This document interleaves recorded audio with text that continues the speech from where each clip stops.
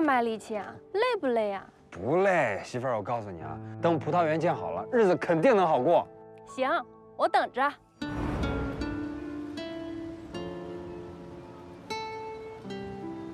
妈，怎么了？没事儿，就是有点感慨，突然想到你爸爸了。齐洛，妈妈今天看了酒庄，特别的高兴。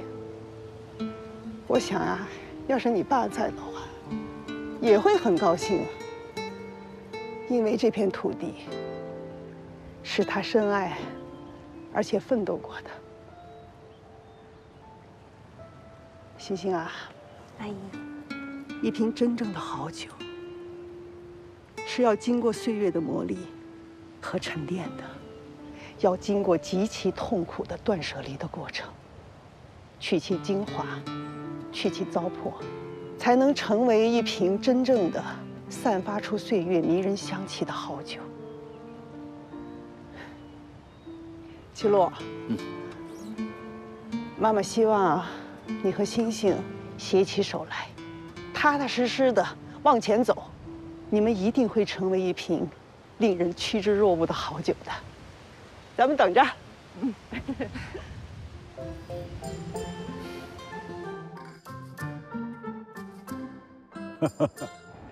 这个老秦啊，他这是要把我手里的资源啊吃干榨净。王教授，我们秦局长说。葡萄酒的关键啊，在于葡萄。这葡萄的关键啊，在于气候。咱们产区啊，只有广义地理单位上的气象资料，缺乏小气候的数据支撑。咱们要想长远发展啊，还得加快脚步啊。郑科长，这是老秦的想法，你怎么想？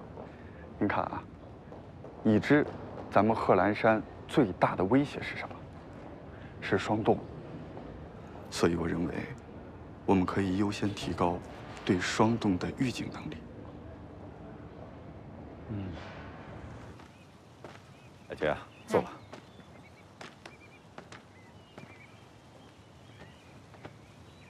这个老石啊，自己拍拍屁股走了，哼，把那难题啊留给了我呀。谢叔，师傅是不是有话让您跟我说呀？当年我们师兄弟八个去苏联学酿酒这事儿，你知道吧？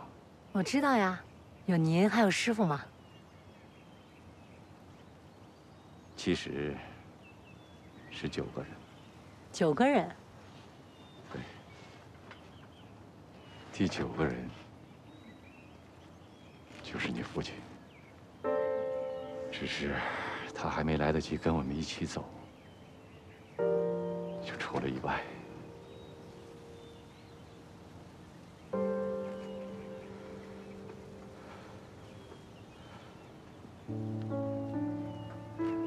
那边，那片葡萄啊，就是你父亲当年亲手栽下的。这一画，二十多年过去了，他亲手种下的树都活了，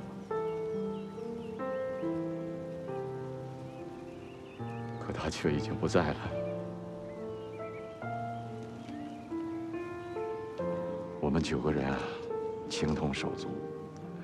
老师这些年把你带在身边，手把手的教，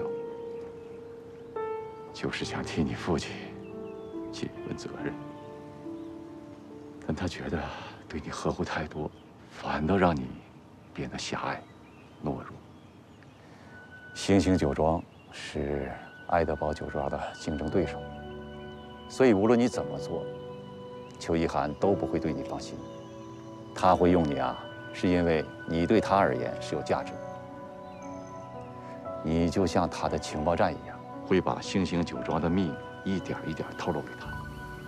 但他呀，又不会对你放心，因为他担心你是老师安插到他身边的，他会对你。半信半疑，这正是老师的用心良苦啊！邱一涵这个人是一个精致的利己主义者，但他不坏，至少不是那种到了骨子里的坏。所以，没有比爱德堡更适合让你成长和历练的地方了。那如果爱德堡跟星星酒庄起了冲突，我该怎么办呢？我该站在哪一边呢？人在哪里，就忠于哪里，这是我们酿酒人的职业操守。我记得我小时候啊，只要练琴练不下去了，我爸就会带我去黄河边看黄河道。那天在您的办事处，我看到红军装粮食的口袋，就在想，这些年啊，我们种葡萄、建防风林，日子是越过越好了，可是心里总觉得不踏实。说下去，所以呢，我想投资到鱼空间，一方面发展旅游，二来啊，也是想提醒人们不要忘了根本。你指的是粮食安全？没错，现在贺兰山下的葡萄种植已经上了规模，但同时也应该有红线意识，基本农田必须保障，粮食安全不能放松。一心，你说这番话的时候不像个庄主，反倒像秦局长说的。刘董，您见笑了。葡萄酒产业要发展，粮食安全必须保证，否则凡事过了头，最终还是要走回头路，也不利于产区的发展。不过这圈下来，我还是安心的。政府对产区的规划、酒庄的审批都很规范，以荒滩戈壁改造为主，农田为辅，每个人心里啊都有严格的规则意识。你知道我为什么选你们酒庄吗？嗯，因为齐路吗。不是，我第一次参观你们酒庄的时候，你对我说的那番话，我特别欣赏你父亲敢为人先的那股闯劲儿，更欣赏你的勇气。你是一个不忘根本的人。葡萄酒归根到底比的是人，七分种，三分酿，最终起决定作用的还是人。我回去就跟你签协议，但有言在先，到了约定的时间，不管你遇到什么事情，你都要如期交货。刘董，您放心。邱总，您找我？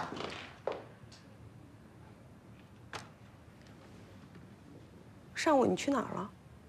啊，我身体不太舒服。高玉洁，以前有人说你是石明山安插到我这的眼睛，我还不信。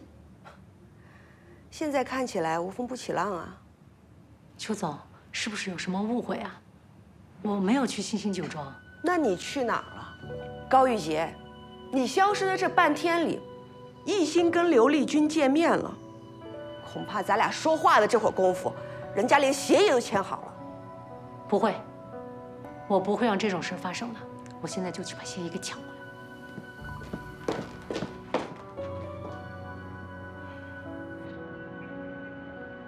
哎哎哎哎，是，您的酒钱没付呢。哎哎哎哎，你还看不起我是不是？没没没有，先生，我说的是酒钱。怕我没钱是吧？就是酒钱呗。够不够？王教授，真的太感谢您了，要不是您，我还真不知道该怎么办才好。邱总客气。我们成立葡萄酒学院的首要目的啊，就是服务产区。从您刚才提供的样品来看呢，没什么大问题，您就放心吧。酒庄里的种植师啊，怀疑是灰霉病，说实话，真的吓到我了。从外观上来看啊，的确很相似。不过灰霉病啊，也是一种真菌性病害，也叫低温高湿性病害。温度二十五度左右。湿度持续百分之九十以上，才会发病。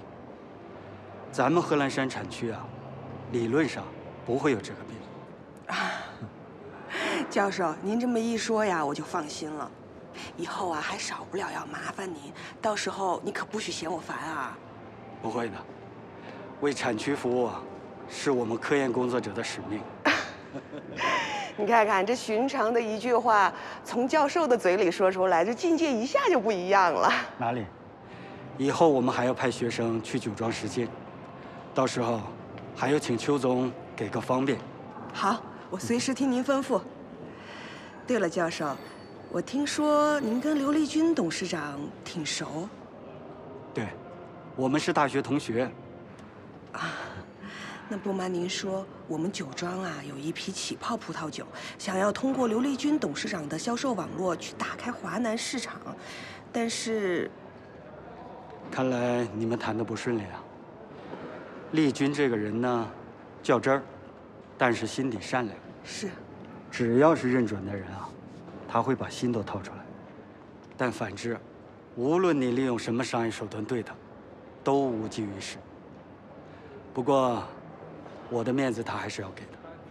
这样吧，我帮你们约一下。那我就先谢谢教授了。不客气。走，这边看。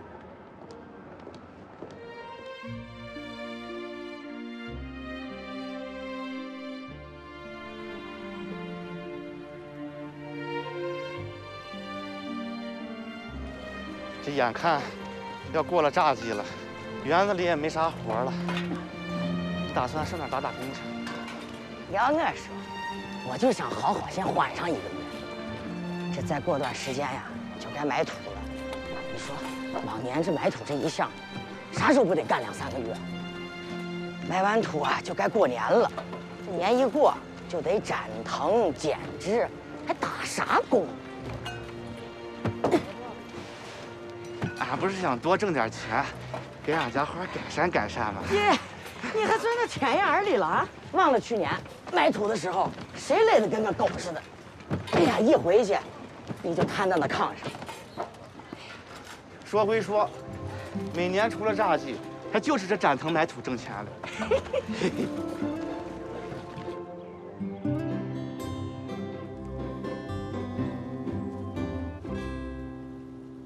怎么样？糖分还不够。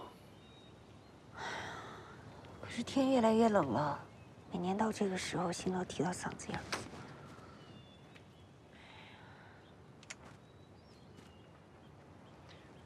黑比诺呢，是我们园子里最娇贵的品种。你说刘董跟我们签黑比诺，是不是在考验我们？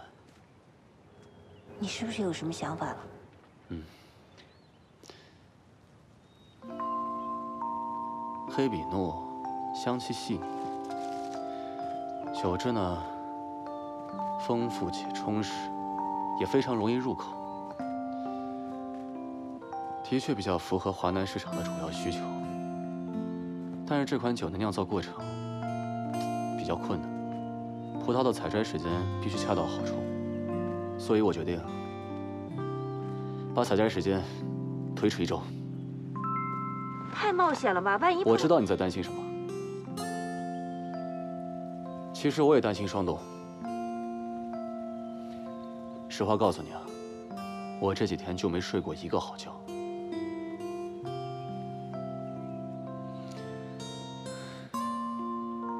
但其实，这就是我们酿酒人要担负的。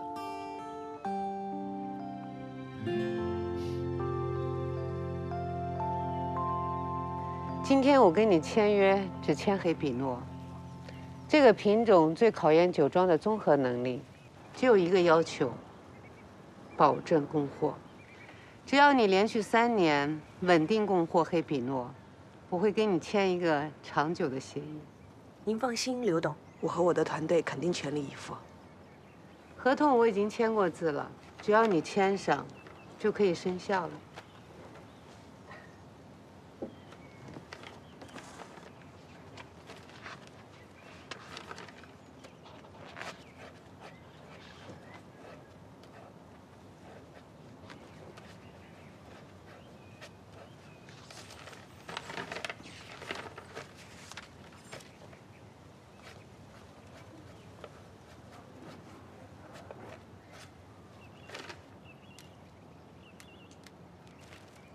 刘董，谢谢你对我们的信任。你不用谢我，要谢呢就谢谢王荣斌教授和你那个助理。我助理高玉洁，他去我那儿守了我好几天，人老实，手脚勤快，我就喜欢这样本本分分做事儿的人。行，那我就不打扰了，祝我们合作愉快。合作愉快。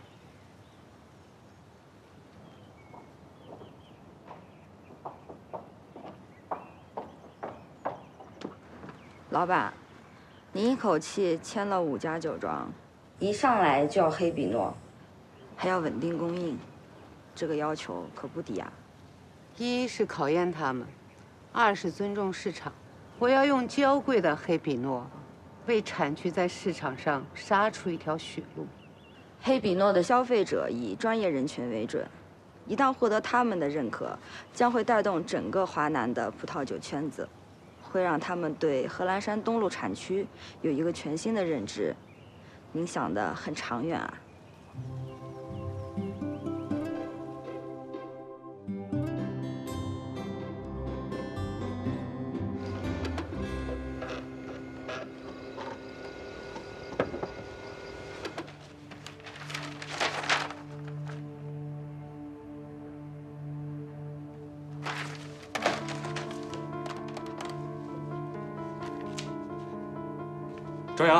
抓紧时间把会议室收拾出来，召集所有部门集合，启动五号预案。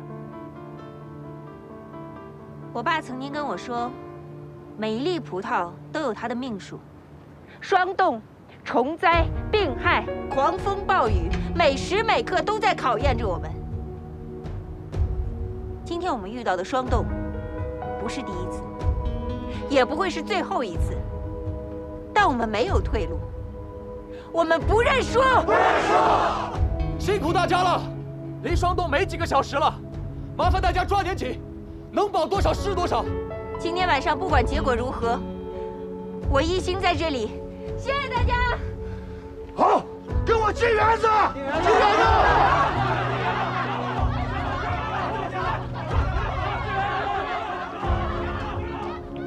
我不管你花多少钱，用什么办法，就是抢，也要把工人给我抢回来。邱总，霜冻马上就来，黑皮诺怎么办？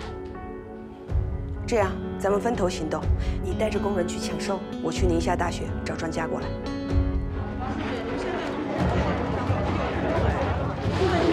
把这数据全部都输入进去，然后分析一下。我是秦克明，霜冻几点到？我需要准确的时间。我们要动员更多的群众去帮助酒庄，人越多越好。好，大家注意，今天手头工作听我说。现在我们当务之急只有一件事情，抢收。但是依靠人工太慢了，我们需要协调各个部门，调集更多的大型机械支援酒庄。听明白没有？明白。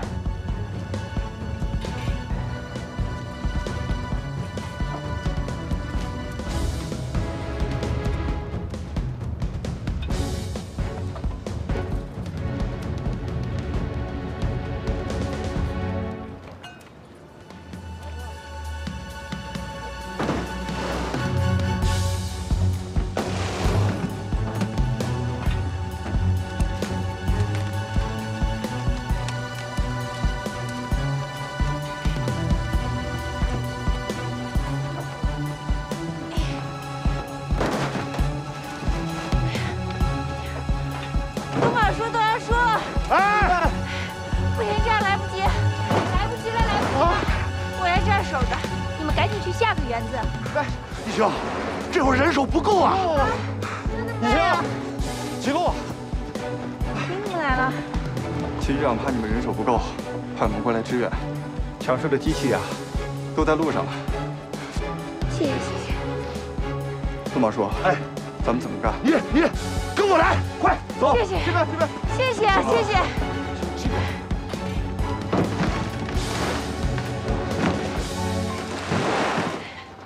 谁啊？秦局长。喂，秦局长，摘着呢。什么？烟熏？烟熏。啊，知道了。花婶儿，乔乔婶儿，哎哎，来一下。快快看着。帮忙找点柴火，烟熏保温。烟熏保温。哎哎哎，好，多找点柴火。烟熏保温。那个大花，把手里活放一放。谁家有柴火，赶紧回来找我帮忙。对，找柴火，烟熏保暖。同志们，协调工作已经告一段落了，通知局里各个部门，我们一起去一线帮忙。是。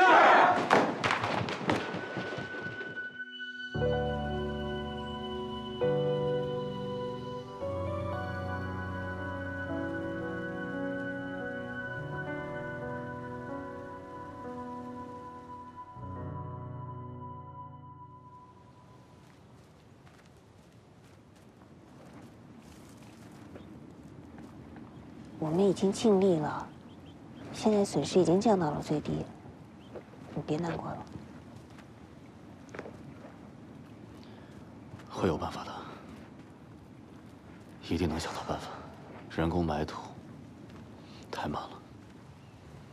二十多年了，我们这儿一直都是这么做的。当年二厂的葡萄园就是因为一场霜冻遭到了灭顶之灾。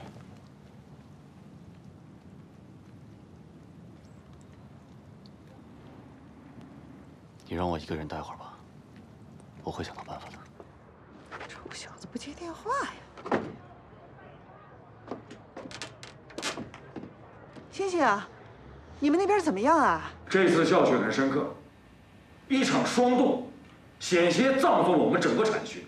但是今天在这里呢，我不想批评大家，反而我想衷心的感谢在座的每一位，因为在这场救灾应急的保障行动当中，没有一个掉链子。尤其是郑阳同志，为了争取抢收机，亲自跑到人家生产厂，软磨硬泡的把机器要来。让我们把掌声送给郑阳，同时，也送给在座的每一位。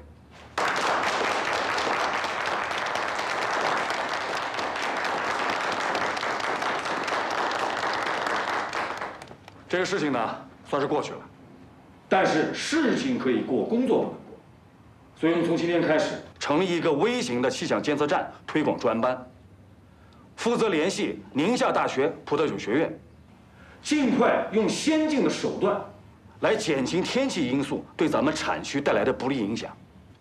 事情经过就是这个样子。哦，好，好，好，那就好。你们要有什么困难，一定要跟我说啊。行，那我先挂了。好，好，好。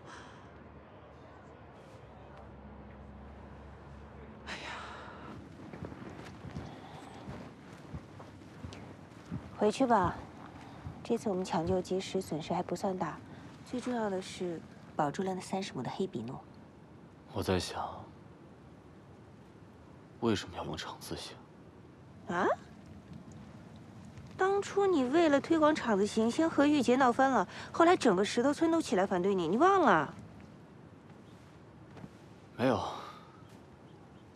我在问我自己。你在琢磨什么？能跟我说说吗？我在想，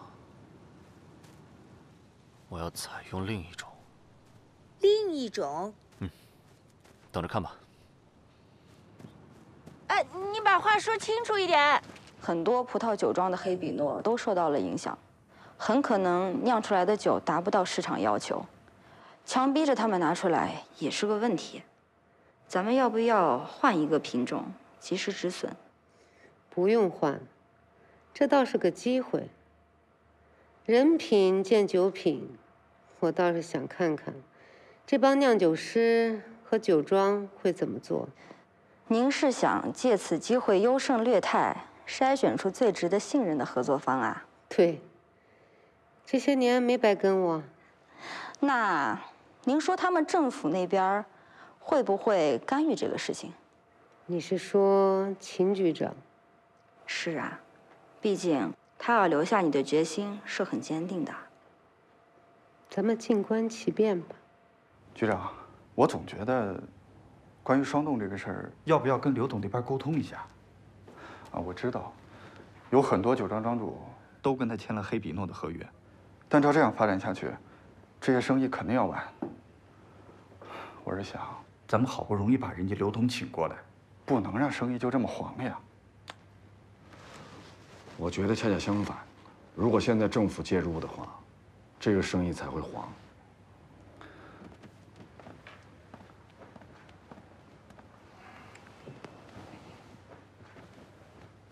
您说这刘董直接换一个葡萄的品种，再跟酒庄庄主重新签一份合约不就行了吗？这样而且是双赢啊！张扬，你觉得刘立军是个什么样的人？女强人啊，品酒师出身，凭借一己之力成为了华南地区最大的红酒经销商，这么多年来都没有人能撼动他的地位。对红酒的品质要求近乎苛刻，有能力。有手段，更有远见。你觉得像他这样的人，会不知道霜冻要来吗？会不知道霜冻对黑比诺造成什么样的影响？您的意思是，这刘董早就知道这个情况，故意没有任何表示？难道他是想……我几乎可以确定就是这样。所以说呢，如果我们插手，反而会适得其反。局长，现在麻烦的是，刘董他人不在银川，之前跟他合作的那些酒庄庄主啊，全部因为黑比诺的事情找到咱们这儿来了。我是真安抚不了，这怎么办啊？没事，你把责任全推到我身上来，就说这些话都是我说的。我们把人给他们请来了，剩下的就看他们自己的本事了。难道说我们还得把饭喂到他们嘴里去？局长。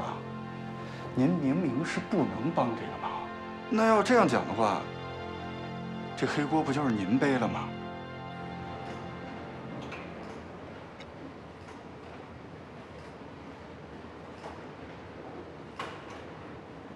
还不错，黑比诺的香气已经出来了，告诉大家要抓紧啊！好的，邱总。邱总，嗯，你等我啊？是的。有事吗？有。那站这多长时间了？站了有一小会儿。你怎么不打个电话呢？因为以前师傅说过，当庄子出新酒的时候，庄主与酿酒师的沟通非常重要，不容许被打扰。对了，刘董那边有消息吗？刘董那边说两个月以后到银川。我刚刚跟欧阳庄主已经沟通过了，他马上就过来。厅里面已经批下来了，康阳小镇一期工程将会在本月中旬正式动工，包括康阳医院、道路、基础水电设施。接下来我宣布一下康阳小镇领导小组的名单，组长由我亲自担任，副组长郑阳、雷克凯。干嘛呢？做实验呢。你个酿酒师不待在发酵车间里做什么实验？浇水啊？来找一星的吗？来找你的，刘立军董事长给我打电话了，问那个黑比诺的情况怎么样了。黑比诺受霜冻影响，口感吧，比往年是差一点。就是咱们能不能跟刘立军董事长说，这批黑比诺是在霜冻之前采摘的？不行。安南，我今天把话放这儿。这事就算一星同意了，我也不会同意的，听明白了吗？其实我发现你，你就是一头倔驴，你。我这叫原则。霜冻的事情，刘董肯定知道，黑比诺的娇贵是众所周知的，所以瞒也瞒不住。瞒是肯定瞒不住的，刘丽君的嘴巴多刁啊！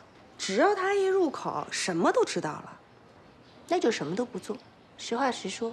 本来嘛，干我们这一行就是靠天吃饭的。我相信刘董，他是一个通情达理的人，他会理解的。这些天呀，我一直在打听，谁家的黑比诺是霜冻以前采摘的？谁呀？你记不记得那个闽商胡建明？我记得他，他这个人很有想法的。岂止是有想法？我告诉你，这个人就是个人精。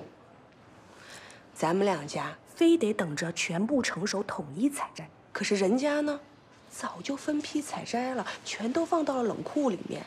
现在咱们整个产区，只有他家有霜冻之前采摘的黑比诺。但是我已经跟他说好了，葡萄来了，咱们两家一人一把。但是我担心齐路他。妹妹，什么时候了？现在是我们生死存亡的时候。刘丽君只在整个产区选择五家酒庄作为合作对象，这意味着什么？意味着这五家酒庄以后就是整个产区的中流砥柱，产品可以直通华南。生意，生意，有生路才有意义，都关门大吉了，谁还在乎你那些追求啊、原则呀、梦想呀？你说对吧？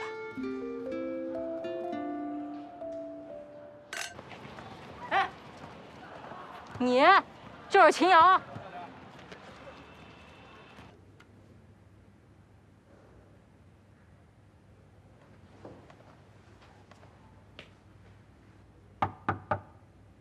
哎，郑阳，秦爵，还不下班啊？秦瑶不是上高中住校了吗？我现在回去一个人也没什么事儿，所以我就再待会儿。没事，你回去吧。啊 那我先回去了。来。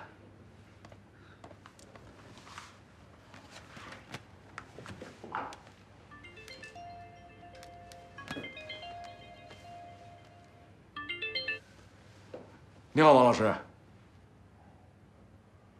什么？秦瑶打架了？好，我知道了，我马上来。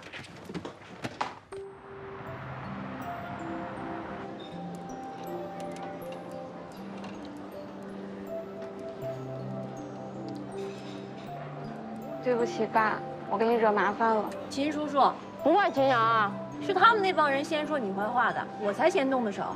我就知道是你这个皮猴子。呃，张叔叔，小米也是为了帮我，再加上他们的确说话太难听，我们才没忍住。不是，行了行了行了，别批评孩子了。这件事情呢，归根结底是我让你们俩受的委屈，所以应该我向你们俩道歉，不是你们的错。爸，你说你为了产区辛辛苦苦的，可他们为什么不理解你？站的位置不同，看待事物的眼光不一样了。不过我相信啊，终究有一天他们会理解的。但话说回来，你们俩现在是学习的时候，没有什么能比学习重要，知道吗？老欧，黑比诺的事情我有主意了。不管结果怎么样，我都认。锦协，爸爸希望你要做一个诚实的孩子。长大以后呢，也希望你要做一个诚实的人。弄虚作假，早晚是会被人发现的，知道吗？爸爸希望你记住，这个钱呢，够花就行，永远不要让它成为你生命的全部，知道吗？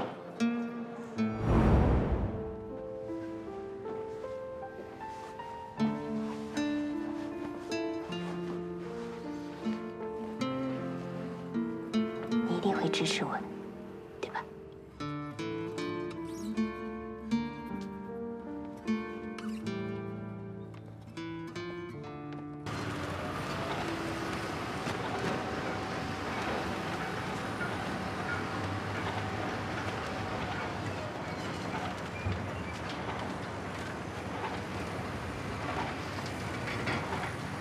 小许，你们卫生系统动作够快的呀！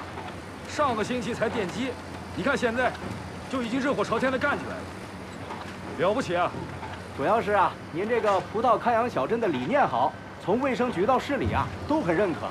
这个康养医院建起来之后呢，将惠及周边十五个村庄的五万人。太好了，小郑，嗯，配套设施得赶紧动起来。好，这条路往前是不是岛屿空间？这条路啊，东边呢是岛屿空间，西边呢是葡萄主题休闲广场，再往前一直走吧，就是咱们各个酒庄的旅游专线了。跟旅游部门多沟通，请他们把把关。好，老君，哎，咱们都走。好。卖火人卖点力气啊！徐光说把这都挖通了。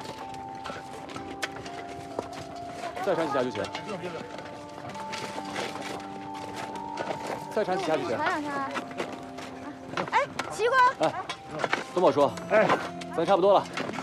差不多了是吧？开始倒水吧。啊，哎，大伙儿准备倒水了。来，来，一二，小心点儿。哎，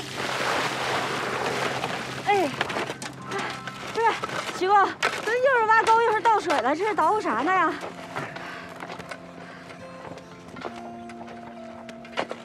快了，快了。快了，啥快了？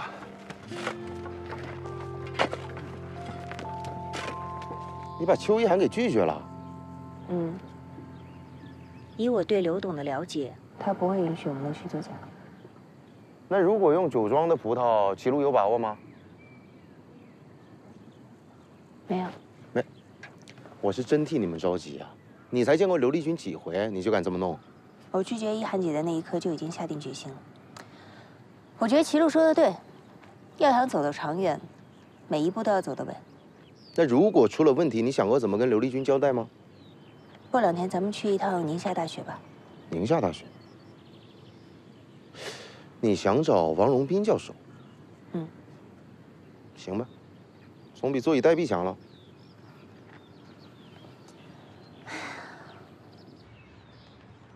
我再让两个点。这么优惠？如果销售增幅超过百分之二十，我可以争取更多的优惠。我的习惯是先听条件。没有附加条件。哎，好吧，条件是停止跟贺兰山产区的一切合作。一个新兴产区就让你这么紧张？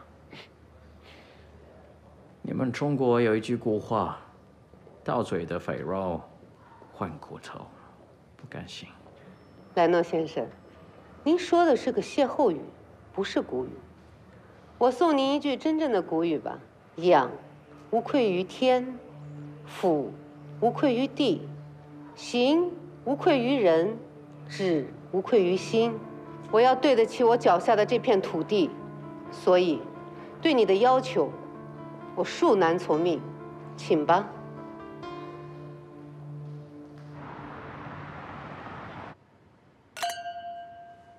怎么样，莱诺，沉不住气了吧？你对他了解多少？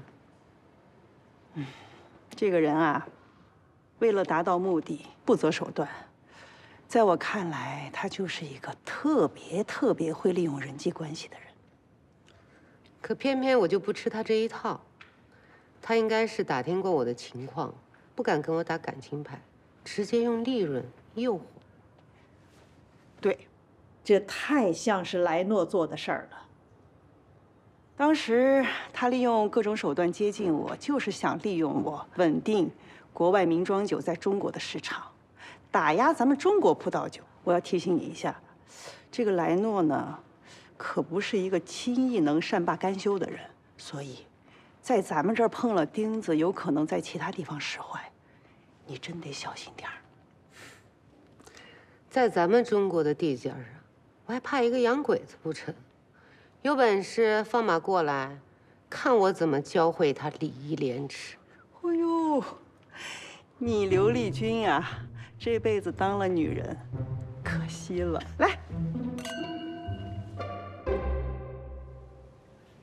徐工，这两天了，这天天来这浇水也不干别的，这是干啥呢？这干啥呢嘛？干啥呢？就盯着水坑看，这也太奇怪了。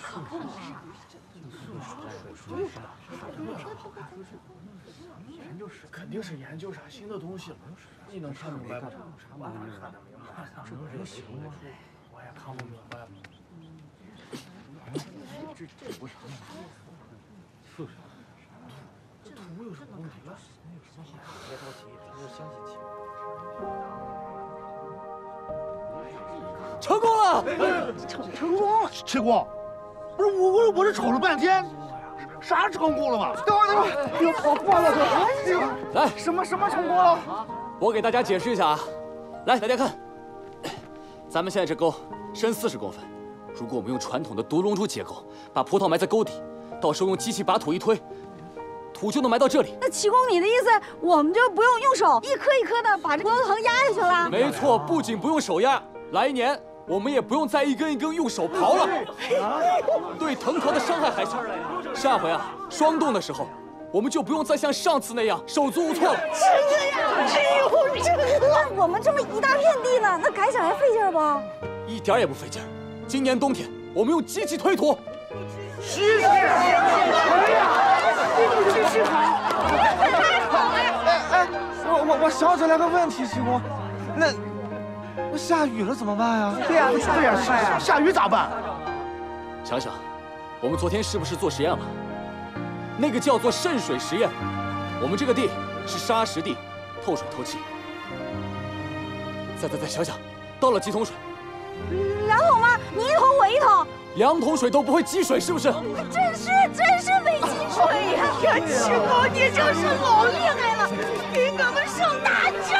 可不是嘛！哎呀，七公，以后这省力气效率还高了嘛，对不对？啊，七公，你真有两把刷子呀！咱们给七公鼓掌欢呼啊！